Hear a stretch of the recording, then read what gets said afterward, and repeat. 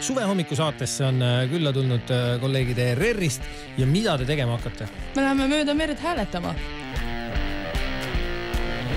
kuulsid nende jutte? plaksutan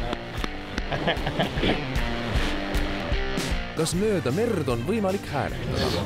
tundub, et võetakse paati yes..